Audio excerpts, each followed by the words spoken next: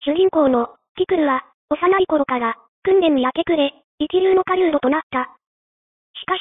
新米ガードを、引き連れてのクエストは、なぜか、色っぽい、ハプニングしか起こらない。